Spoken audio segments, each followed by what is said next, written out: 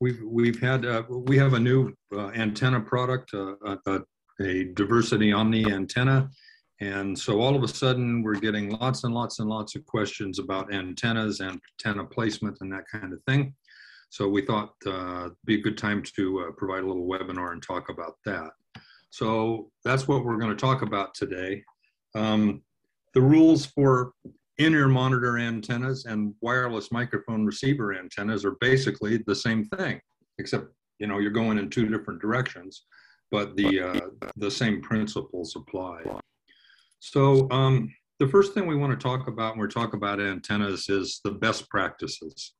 Let's don't let's don't do the dumb things that uh, are going to cause us grief right from the get-go. So number one most important thing is that you have a line of sight.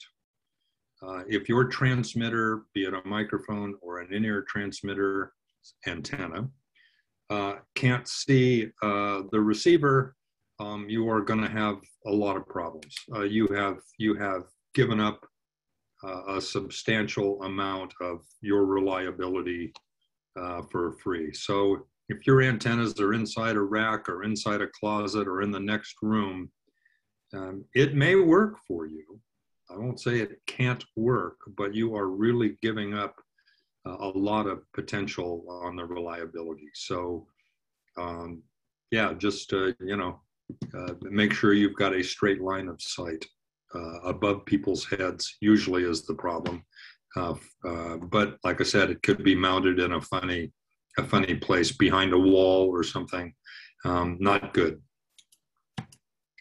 Oop, we went to. Um, there is a minimum distance that you need to be from an antenna. And uh, this is very similar to as if we're speaking, right? I'm speaking to you now, but if I got up and spoke with this voice an eighth of an inch away from your ear, I'd be screaming at you. In the case of a radio, you would likely be overloading the front end, uh, which is not a good thing, obviously. So uh, this this these distances that I'm showing here assume a 10 milliwatt transmitter. Obviously, if you have a much more powerful transmitter, uh, these numbers need to be different. But, uh, and you see they're different for the relative uh, gain strength of different types of antennas, right? So um, this is something you just want to, to, uh, be aware of.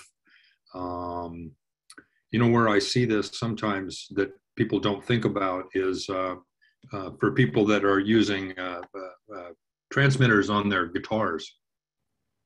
They may have a they may have several transmitters on several guitars, and it's sitting right next to their rack, right?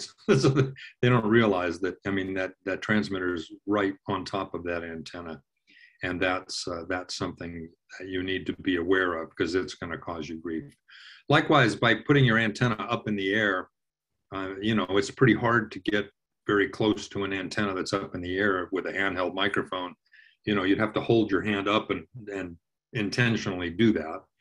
Um, so don't do that, right? That's pretty easy. Um, another thing with respect to antennas uh, are these antenna farms. And uh, this is something you definitely don't want to do. Uh, you are giving away a whole bunch of reliability when you do this you are cutting range, you're cutting reliability. In the case of analog stuff, you may be cutting sound quality as well. So immediately, the first thing that's wrong is that, uh, so you got a radio wave traveling through air, it, it penetrates your antenna and creates a current in that, uh, in that antenna. And that current moving through a conductor uh, creates uh, magnetism and then, of course, you have the same problem going backwards. A magnetic field cutting through a, uh, uh, excuse me, a conductor, according to Maxwell's law, creates a current. So what you're doing is each antenna is sticking another signal into the antenna that's right next to it. Now, the strength dies with distance, of course, but when you're only two inches away, you're screaming in its ear again.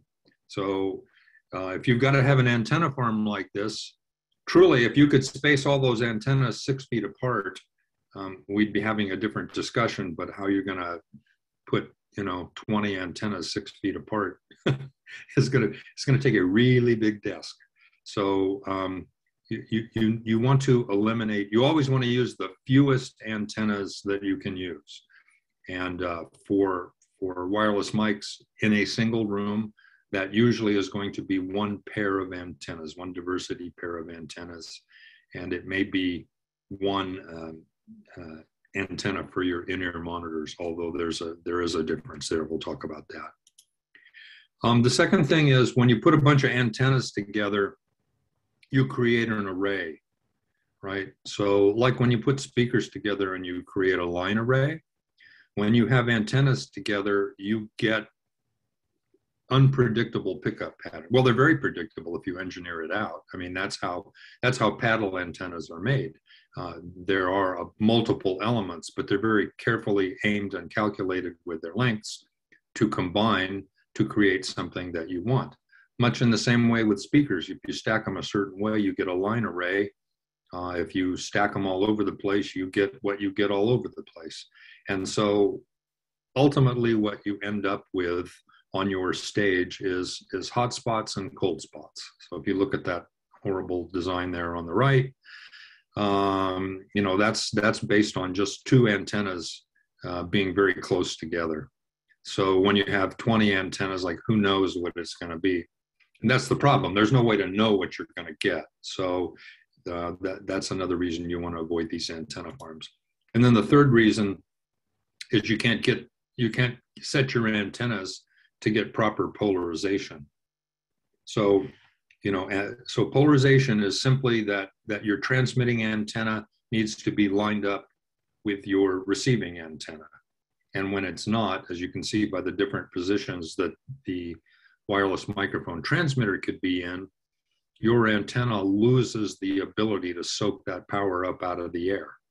And so uh, there is a way to properly polarize your antennas but when you have these tiny little distances you're never going to be able to achieve it so again, as as you're walking back and forth across space, um, the ability of your antennas to to receive a constant signal is is changing. Uh, so let's get rid of the antenna farms. Um, I also want to talk about uh, the most basic uh, placement for your antennas. And that's that they want to be six feet up off the deck or they want to be a couple feet off the wall. Now, it's not always possible. Sometimes you have to mount on a wall. If you have if you have a directional antenna, it's not nearly as bad. But what what's happening is you're um, you're getting lots and lots of echoes off the wall with an omnidirectional antenna. You don't ever want to put an omni up against the wall. Well, it doesn't stop working, but you greatly diminish what happens. Here's what happens. You get you get multiple echoes off that wall and it detunes the center frequency of whatever you're trying to transmit right? So you can look and see on the right uh, that's a bunch of different frequencies but off the wall and then when you put them up next to the wall you can see the tuning instead of whatever you set you know 500.125 shifts a little bit a few hertz it's not a bunch but it just makes it that much harder for your receiver that's tuned to that frequency you've set it at. And Now it's no longer quite tuned in. So we want to avoid uh, uh, antennas uh, off the wall, uh, off the ceiling, off the floor, unless they're specifically designed for that. There are some that are, but generally speaking, your whips and your paddles and your are not going to take kindly. You are giving up some performance if you put it too close to the wall. And again, six to 10 feet above the floor uh, gets it over people's heads. And again, we minimize the reflections. So actually antennas on mic stands with boom arm um, work very well. Another thing that people do is they mount antennas to truss without thinking about it. Um, so in this example, uh, on the bottom, all the RF venue CP beam antennas can be mounted directly up against truss or metal, any other kind of metal, uh, you know, if you want to mount it to a garage door, I guess you can. Um, but those antennas have a have a back plane, and so they don't pick up anything from behind them. So they will ignore the reflections uh, from the metal back into the antenna. But you see above, and this is the way to do it if you have to do it. Um, there's an omnidirectional antenna and there's a paddle antenna, and they are above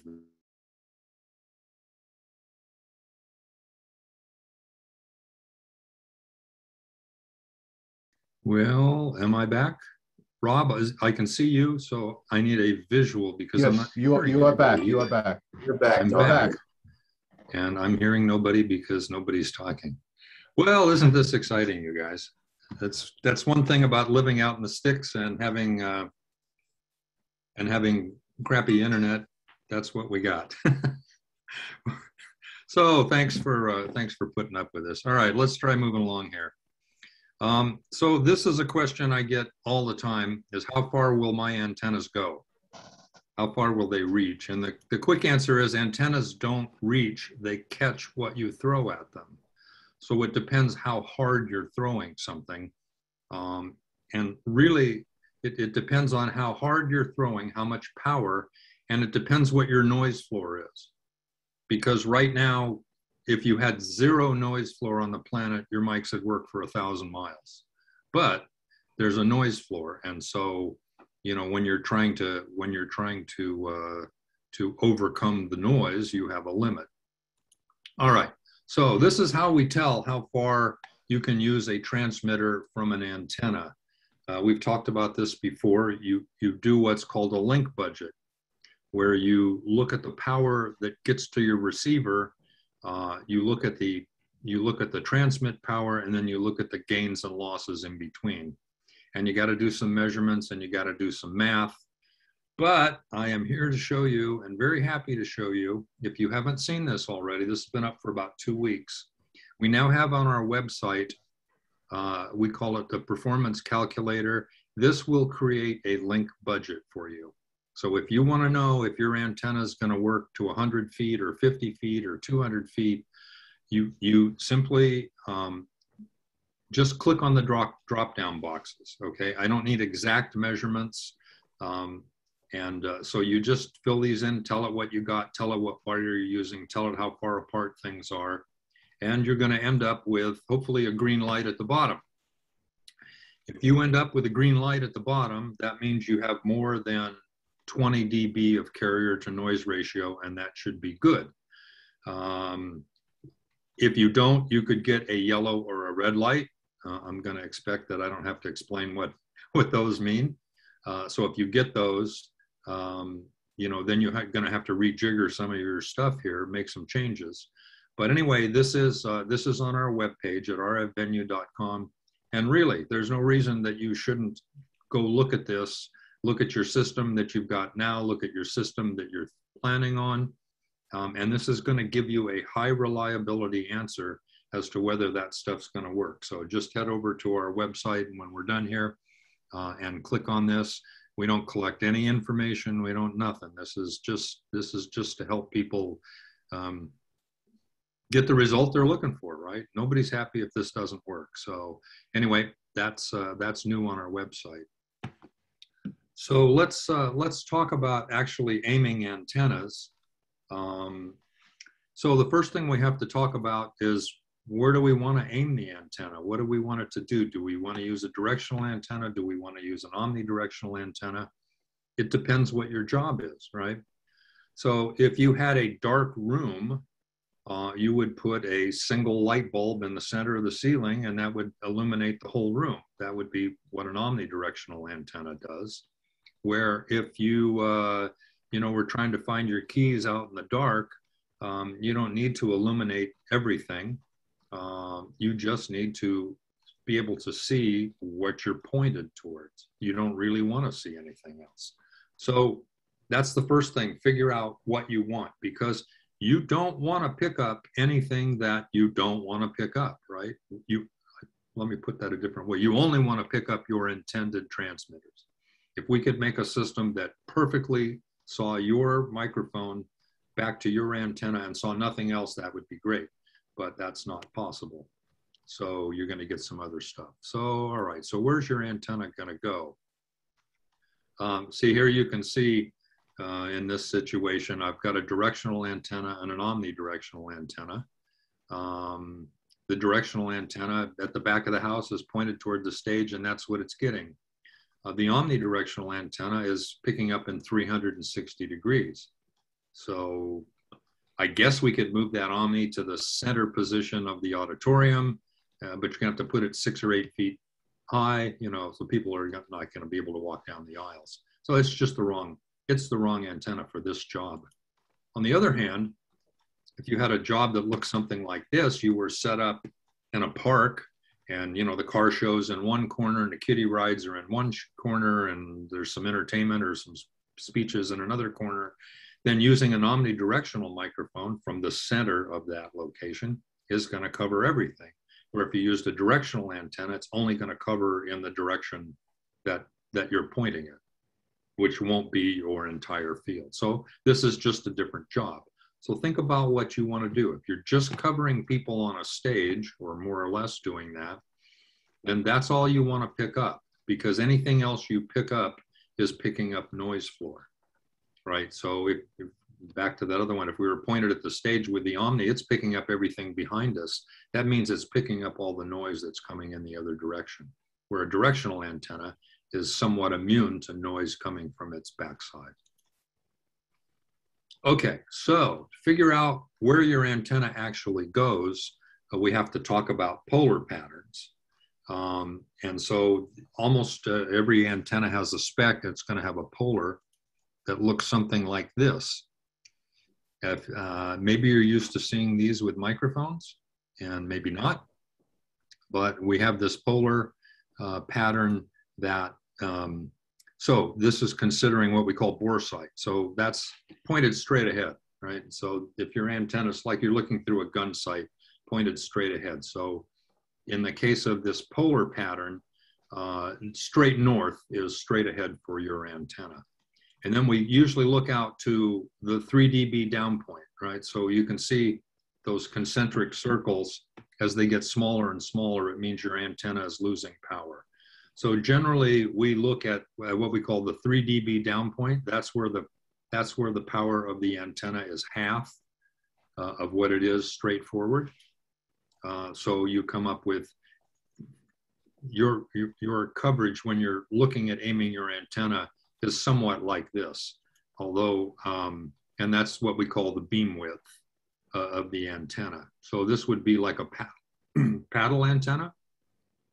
Now it's not it's not completely dead behind it, but you can see the power is is way reduced. So it has some pickup behind it, but not a whole lot of pickup behind it. So it's basically picking up in the in a forward direction. Course, if we had an omni antenna, it would just be that whole circle. It picks up in 360 degrees. Um, how far? So I, I'm showing you this this triangle, but I'm not intending or not implying that it stops at the end of that triangle. It just keeps going. How far it goes, you go back to that performance calculator and it's going to tell you if it's, well, it's not going to tell you it goes a thousand miles, but it's going to tell you, you know, for a reasonable distance, what to expect. So, so the same antenna has different ranges depending on where you are, right? So if you're if you're out in the middle of nowhere, if you're on top of a mountain in Idaho, you're going to get a different answer than if you're uh, you know in downtown Manhattan, even though the same you know the electronics don't change. All right, so the typical beam width of antennas kind of looks like this. Whip antennas pick up in a hor horizontal now, right? Because unless unless your guy with a wireless microphone is you know 50 feet up in the air, uh, I've never done that job myself, but I suppose if somebody's parachuting in, we're going to have to talk other than that, if your if your transmitters are sitting on a stage or you know a predictable area, a whip antenna has is an omnidirectional antenna and it picks up in 360 degrees horizontally. A paddle antenna is about 120 degrees and picks up in front of it and rejects what's behind it. And a helical antenna, like you would use for in-ear monitors, picks up at a much tighter pattern, about 60 degrees. So it's easier to focus. It picks up less extraneous noise. And you can use that paddle, uh, excuse me, you can use that helical antenna for your wireless microphones if you had to navigate around a particularly noisy thing. You know, if the if on the side wall of your auditorium there was an X-ray machine or something, uh, then maybe this helical would be a good choice in that situation because you wouldn't pick up the sides as much. But um, anyway, so these are your basic your basic types. All right, so let's get down to how do we aim our antennas?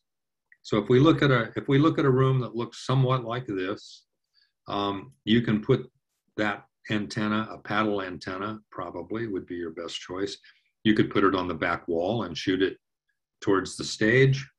You could drop it down off uh, cross beams or something, put it in the middle of the of the auditorium, pointed towards the stage, where you would uh, get a stronger signal because you're closer to the stage, or you can mount it up closer to the stage. So you get you get a stronger signal the closer you go. Um, it's inverse square law, just like speakers, right? Uh, every time you cut the distance in half, you cut the power uh, to a quarter, or you, excuse me, the other way around. You increase the you increase the power four times. So having having your antenna up close to your stage means you can turn down everything else, which takes care of a lot of other problems. Um, now, again, uh, that paddle antenna is mostly picking up in a forward direction, but there's a little bit of pickup in the back. So if you particularly needed to pick up these corners reliably, they're going to be a little on the weak side. Depending on your noise floor, you may not get them at all, or they may work fine, but just realize that there's a much weaker signal available back there than there is, you know, if you're intending to be on a stage. Now, if you do need to cover the whole room, for example, you have performers that walk all the way off the stage, or you have a pastor that likes to walk all the way to the back of the hall, a better choice would be in a corner of the room. And that way you will get solid coverage throughout the whole floor, floor uh, area, right?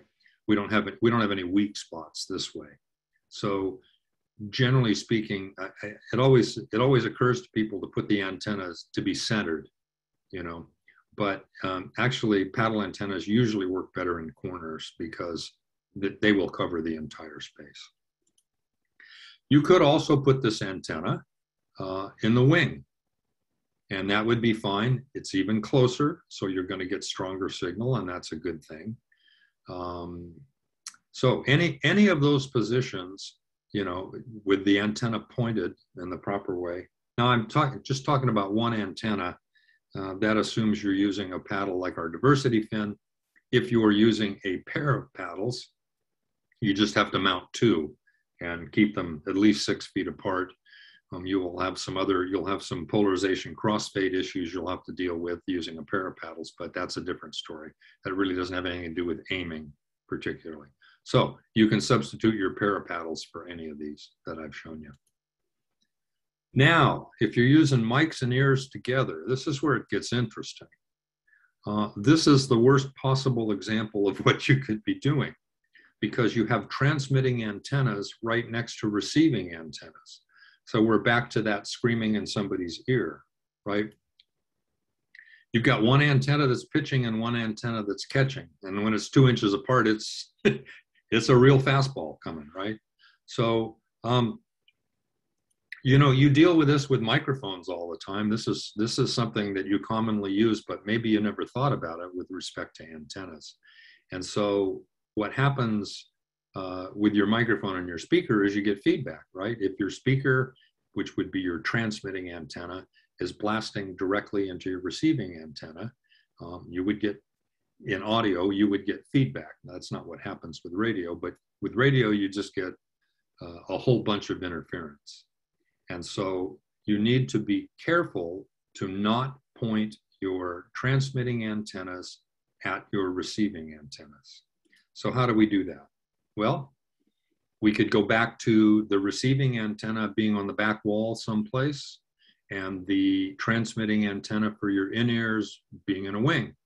So now you've got a 90 degree angle.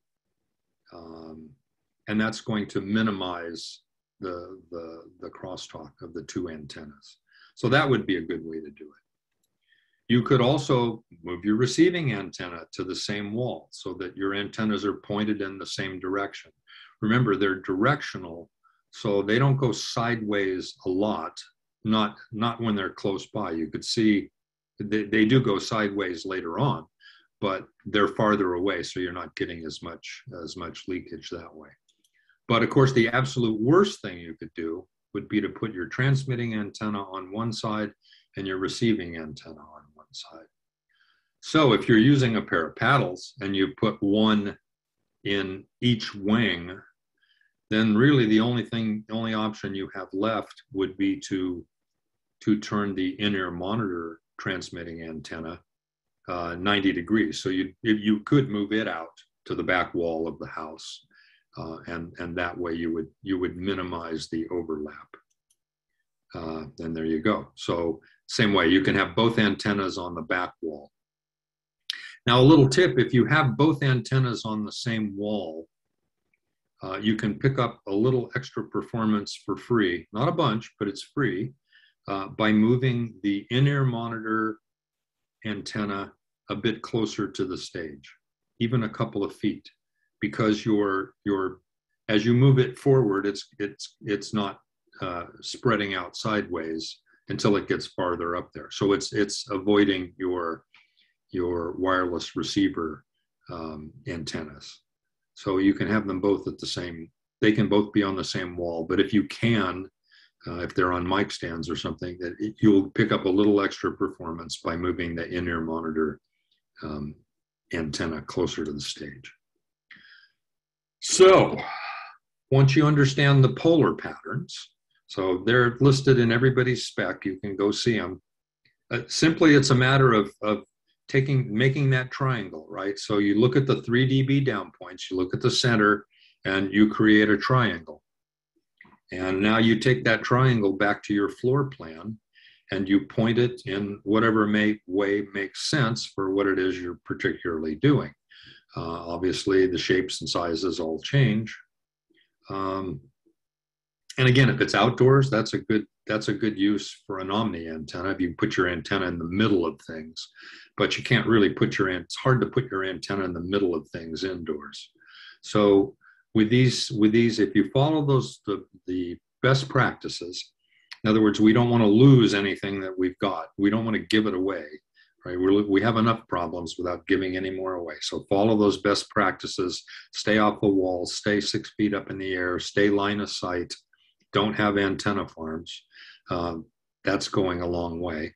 And then just simply create these triangles by getting that polar pattern, polar sheet from the spec sheet. Ours have them. Everybody's has them.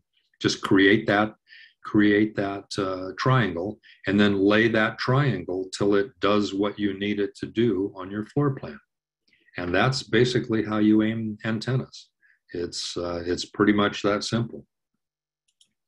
So I guess with that, hopefully uh, we don't lose the internet again. And I've run over on my time here a little bit.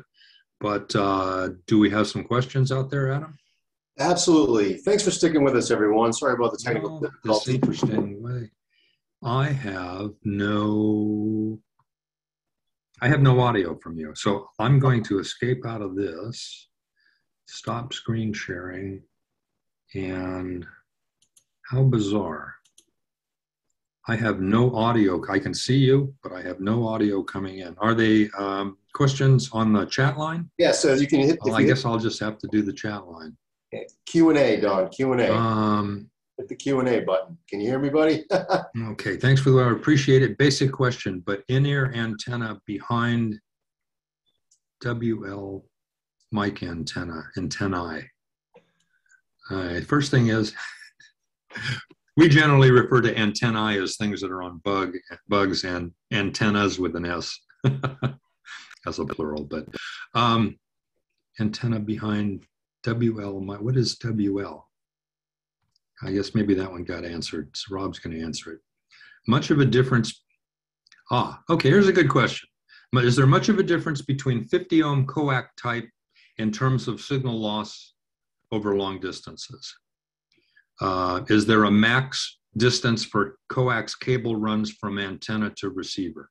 That's a good one because if you go back to the performance calculator, it's going to tell you, and there's different cables that you can select.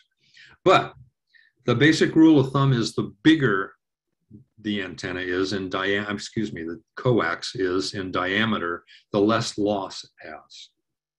And that it's 100% shielded, the less loss it has, right? So most most coax that we've used for the last since the, in, uh, the invention of coax is only partially shielded, around 90%.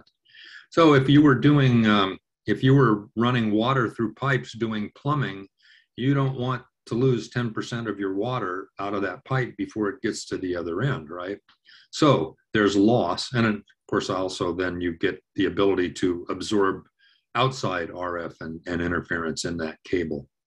So uh, you want to you want to use 100% shielded coax. Uh, it costs a little more, but you know at, at 10 bucks a cable, it's not a good place to try to save 10 bucks. Um, so yeah, use 100% shielded cable, and uh, so the the small cable that we normally use, RG8X, uh, I rarely have any problem up to 50 feet with that. I usually don't have much problem up to 100 feet with that. Um, and then beyond 100 feet, I would go up a grade to something like Belden 9913 or LMR 400. They're basically the same wire from two different manufacturers. And simply it has half as much loss, so you can go twice as far. So you can go up to about 200 feet with that. Beyond that starts getting tricky. Uh, yes, you can use a line amplifier to bring the signal back up, but it it ruins your dynamic range. So you may end up with a strong signal, but a strong useless signal. So uh, if you have to go way beyond that, if you need to go beyond 300 feet, uh, then it's time to get into RF over fiber. And with RF over fiber, you can go, you know, miles. Uh, there's just no loss in the fiber. So yes, bigger bigger wire goes farther. But again, the answer is uh, let's just use uh, let's use the performance calculator, and it's going to tell you. Uh, if you have a pair of paddles for receivers, is it a problem if they're on either side of the stage pointing towards the center? Um, probably not, uh, assuming you know you don't have too much distance. That would be fine However, you're going to have to, so if you're not using in-ear monitors and you can have them on both sides, yes, that would be fine. Um, but you're going to have to, now you're going to have to come in probably at 90 degrees with an in-ear antenna if you're, if you're using that. If you're not, then you don't have to worry about it so much. Uh, if they're 100 or 200 megahertz apart, would they still interact looking at each other? I assume you're talking about antennas, and yes, they will. Uh, the farther they're apart, you know, that um, the better, right? But um, at 200 megahertz apart, uh, you know, that would use that would use the whole that would use the whole spectrum in the United States practically. You can go from 470 to 608, so you've only got a little more than 200. So if you had one all the way at the top and all the way at the bottom, you know, it's better to spread them by distance uh, in the tuning, but it's better to, to physically space them. So as RG8, I think we just answered this one, RG8 coax, RG8U uh, for runs of 300 foot or less. RG8U is an old style non 100% shielded cable. So if you were going to use RG8U, um, what you want to use is Belden 9913, which is an RG8 variant. It's 100% shielded RG8 is what it is. Or uh, Times Microwave LMR 400. Um, if you're in the professional business of live shows and you rent stuff from all over the place, LMR 400 is kind of the standard of the entertainment industry. It's basically the exactly same wire, but that's what you're going to get if you have to go out and rent it. Can you, uh, this is a little bit off topic, but hey, it's all about wireless. Can you speak about needing two antennas for true diversity? The mics need two antennas, but what is the best practice for permanent installation with paddles? Is it okay to use two antennas to increase range or they need to be together for diversity? Okay, so in a perfect world, we'd like to not use diversity because every time it switches back and forth, one receiver has to turn off. There's a small fraction of time, and then the other receiver turns on. So it creates some kind of artifacts. Um, you don't really need diversity too much if you don't have reflections. If it's just a straight shot and you're in line of sight, then it's going to stay on that antenna. The trouble is when you go indoors, you get lots of reflections. Uh, there, uh, and so that's a problem to polarization. It gets called multipath. And Bell Labs did a lot of uh, high level testing on this years ago. And they discovered that even if you hold your mic uh, vertically, that um, indoors, where you're bouncing off the walls and the ceiling and the floor and any piece of metal that's around you, um, about 25% of your signal is, is flipping in polarization. So people think, how do you best practice? Some people think you can, you know, you can twist the antennas uh, into a 90 degree angle and that helps. That will cut, that will cut that 25% about in half. Now you have about 12.5% of your signal that's going to cause polarization issues. Um, the only way you can solve that problem is to co-locate those two antennas, which takes a little bit of doing. You can't take two short, uh, excuse me, I didn't say that, anybody's. You can't take anybody's paddle antennas and fix two of them exactly together so they're at the co-located spot because there's some, I mean, without re-engineering the engineer. That's what the DFIN does. It puts two antennas at the same time because um, if you have two antennas spaced in a room, the, the polarization of the wave is not going to be the same in each antenna. They're independent. So uh, they're not going to see the same wave. So who knows what wave they're going to see. So it won't, it, it will improve uh, the issue, but it won't solve it. Co-located antennas is the only way to really solve that issue. Uh, should polar should transmitting and receiving antennas be parallel to each other? Um, well, it depends. It, doesn't matter what they are together. It matters that the transmitter and receiver um, are the same. So I, I'm sorry, I guess maybe I'm misunderstanding. If you mean by putting the transmitting antenna for IEMs parallel to the receiving antenna for your wireless mics? Um, the answer is probably, it, it always works out that, yeah, that's what you should do. But if you're talking about, if you're talking about your handheld microphone and you're talking about one whip antenna on the back of your receiver, uh, yeah, if they're both pointed from 12 o'clock to 6 o'clock, that would be the maximum uh, that you're ever going to get, discounting for multipath. So that's the way our television works. That's the way the FM radio in your car works. They assume that your car is going to be flat on four wheels and that the antenna that's on top of the mountain is not going to move, right? So we've locked that down. But, you know, that's why people want wireless mics so they can move around. And so you can't count on them staying. Um, please explain which situations you would use uh, high and low RF power on wireless mics? Well, you always want to use the lowest power that works, right? I can't say what that number is, um, but you want to use the lowest power that works because power interferes with all other radios, right? So if I have a couple of high power microphones in the room, they are, they, there's more crosstalk between them than if they're low power.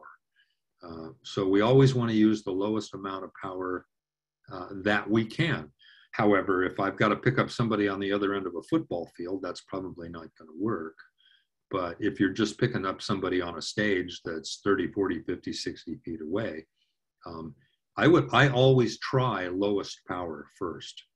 Um, So that, but it, it depends on the situation, but it's preferable uh, because you you you will have less intermodulation distortion. There's a whole bunch of problems that are directly related to power. So the less power there is, um, the lower the lower uh, uh, number of these problems you're going to have.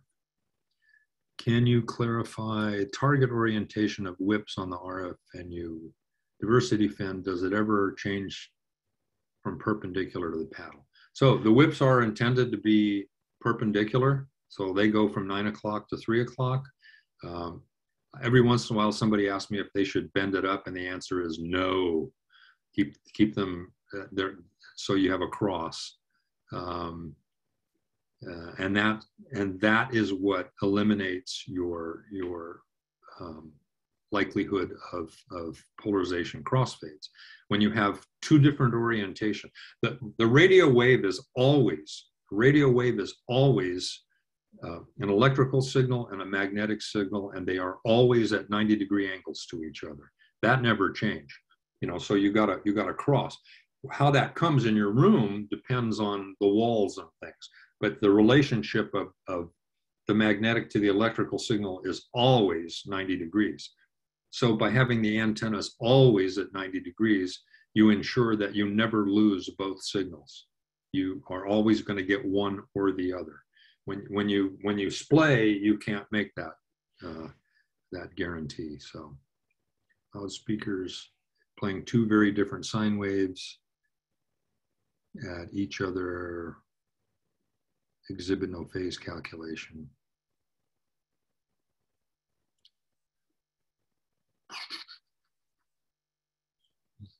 Uh, let's see. So, well, you've got harmonics to deal with.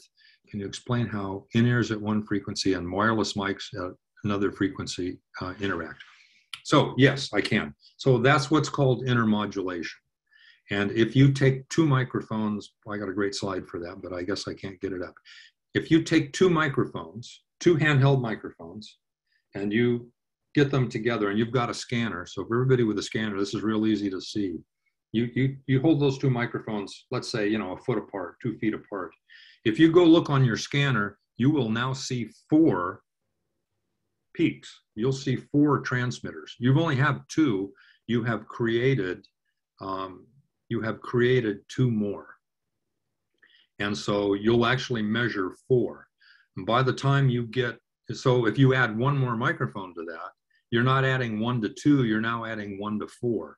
Now you got 12. You add one more, it's this grows enormously fast that by the time you get to eight uh, transmitters, you, you actually have 40,000 possible intermods. Now it depends physically where they are on stage and it depends how powerful they are. But as somebody walks side to side on a stage, those intermods are coming up and going down. So two things happen. They're raising your noise floor and they are spots that you probably can't tune to anymore because they're now filled with a phantom radio station. It's just noise, but it's there. So you can't, you have direct competition for, for that being an empty slot to tune your mic to. Uh, RF spotlight pads. We didn't talk about RF spotlight antenna. RF spotlight antenna is a unique antenna that is a limited range uh, antenna. Uh, one pad under stage and one pad paddle off stage or something. So the answer is that might work. Um, if you have a very short distance, like 10 or 15 feet, you probably can get away with the second antenna being a whip or something. They, they do that when they like interview movie stars. They put them in a hotel. They put two people in a chair with a table and a flower on it, and nobody moves you might get away with it with that. But the problem is if you were just doing it on a stage, for example, the spotlight is going to give you many more open frequencies to tune to. Should you then get in a position where you're going to switch from the A antenna to the B antenna, the B antenna being a regular antenna probably is going to lose a lot of those open spots. So you run the risk that when you switch to the B antenna, that the frequency you're tuned to may not work on it. Can I run RG8X cables next to the other cable? Uh, So it's generally a good practice not to run cables next to each other. RG8X is 100% shielded. Um, however, I don't like to lash them together. Um, mm, especially, especially um, with digital uh, wireless microphones going through it. The power of digital wireless microphones is whatever it says it is 10 milliwatts, 50, whatever it is. The power is, is that but the the duty cycle the amount of power that's on there's much more power coming down that wire. So the more power coming down the wire the more chance for it to leak out. Um, so 100% shielded cables uh, coax cables is definitely a better idea if you're using uh, digital type wireless microphones. It's not that the rf is different. The rf is rf i mean there's only one kind of rf so we don't make a distinction as far as antennas go between uh, a digital a digital signal and an analog signal. They are both analog, but the the the the modulation scheme is digital. So, in the way that if you had a PA system and you have a microphone and I get up and talk into it, I talk into it, the sound comes out, everybody hears me. That's all good. If the next guy behind me speaks a different language than I do, we don't have to change the microphone out to him what how whatever language he's speaking in comes out.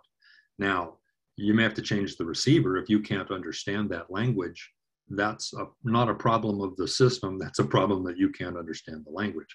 So you're not going to get an analog wireless mic to work with a digital receiver or the other way around. But transmitting it through the air, it doesn't make any difference.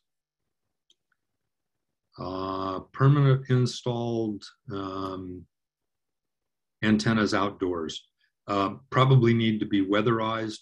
It depends where you are in the country. If you're in a spot where you get hail, lots of snow, that kind of things, you can actually physically break the antenna. The antennas themselves aren't terribly uh, concerned about uh, about weather. Uh, you would probably get corrosion in the connectors, so you can. I would I would always uh, wrap them. I use that fusible uh, heat shrink tape um, and that's uh, that's a good thing to do. But yeah, you need to provide some kind of a cover, preferably plastic, um, because that's got the the least uh, loss through it. I mean, you could use wood. Wood's got a little bit of loss.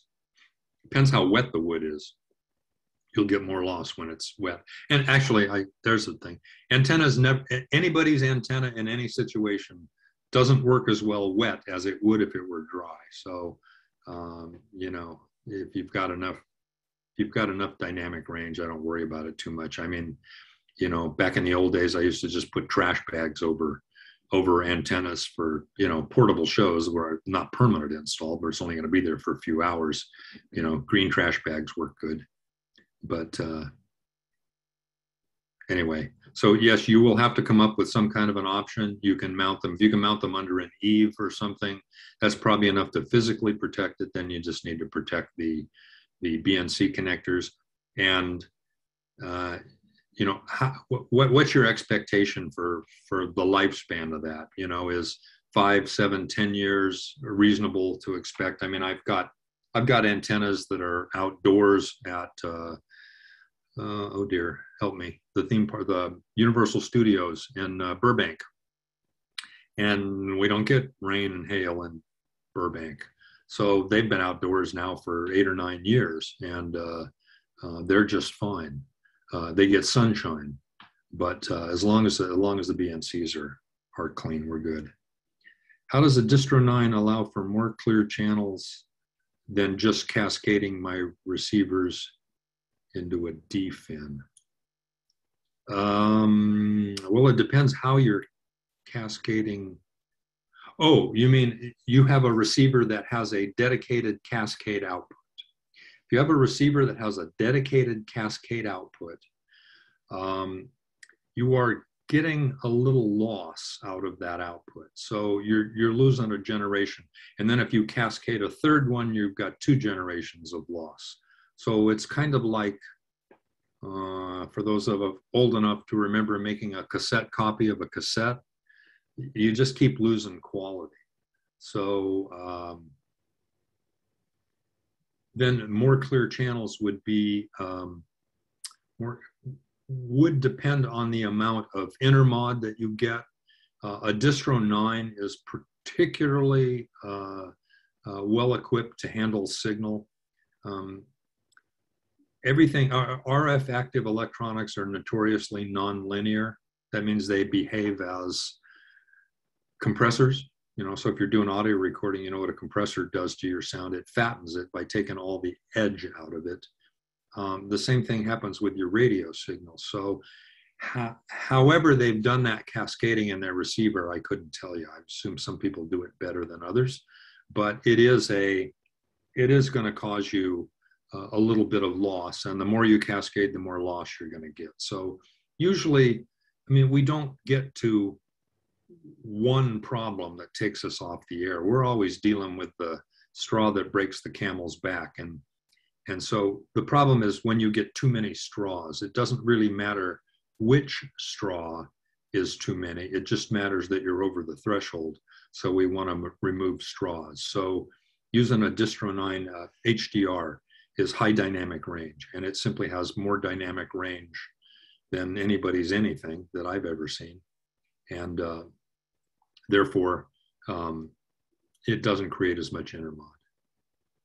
What happened here? Can I run or uh, let's see, we have advisable to make an antenna stand out of plastic like PVC pipe or metal stand. Well, so yes, it would. It's not very practical. And if you could, you know, if, if it were if it were as as rugged as strong, uh, then sure, make it out of plastic. However, um, remember that on your metal mic stand, where that bolts into your antenna, that's on the relatively dead side of your antenna. So it doesn't make as much difference there as it would if it were behind your antenna.